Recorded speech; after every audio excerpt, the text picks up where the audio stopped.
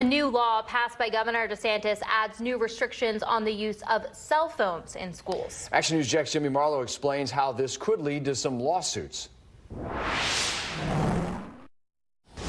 Schools reopen here in Duval County in a little over a week, and this year there will be new rules on the use of cell phones in schools. Meanwhile, the use of the app TikTok has been banned on school district devices and on the school district's internet service. I spoke with an attorney to learn how these new rules could affect students and school districts across the state. You're stuck now. You don't have a choice. You don't have an option you now must answer to the agent, employee, officer of the school, namely your teacher. Going back to school this year in Florida is going to involve changes to how students use their cell phones in schools.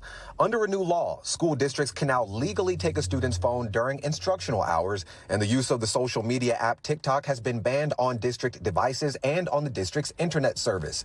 Attorney Matt Dolman says that the new legislation does have some gray areas where individual school districts may handle the same issues differently. Do I think there are going to be lawsuits? Lawsuits? 100%. Do I think those lawsuits are going to succeed or flourish?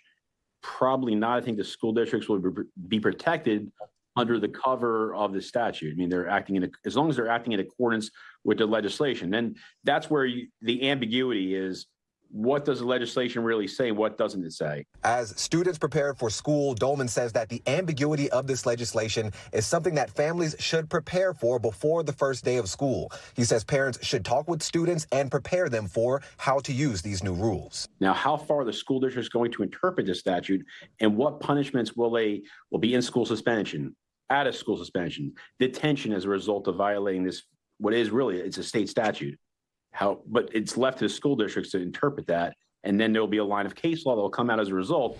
Again, school starts in about 10 days here in Duval County. Matthew Dolman says that now is the time for families to have conversations about these new rules and how they will be enforced so that students are prepared before the first day of school. For local coverage you can count on on the north side, I'm Jimmy Marlowe for Action News Jax.